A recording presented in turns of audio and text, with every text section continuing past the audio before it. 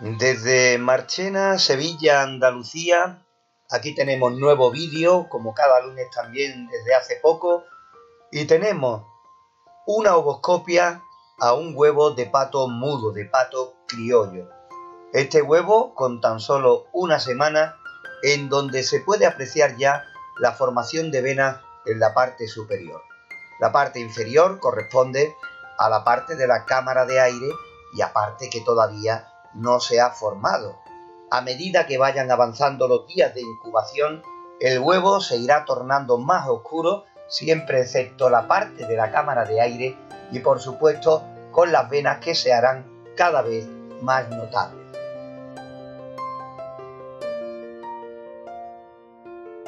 Hay que tener en cuenta que este proceso en esta especie, en el pato mudo, pato criollo, es más lenta que en el caso de los huevos de gallina, ya que su tiempo de incubación es mucho mayor.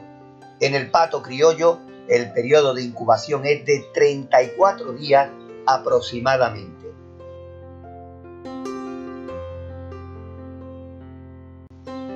Pero también os queremos comentar que esta imagen es frontal por la parte donde han comenzado a desarrollarse las primeras venas, la primera parte de desarrollo del embrión del pato. Pero aquí tenemos otra vista totalmente diferente en la parte trasera, donde todavía el huevo se ve claro.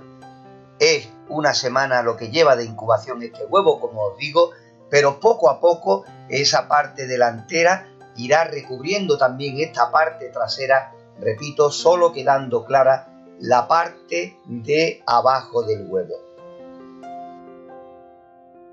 Y aquí por último podéis ver esa misma vista un poco lateral. Lo que queremos decir es que el proceso es largo y que poco a poco iremos viendo cómo las venas se harán más notables en la formación del huevo.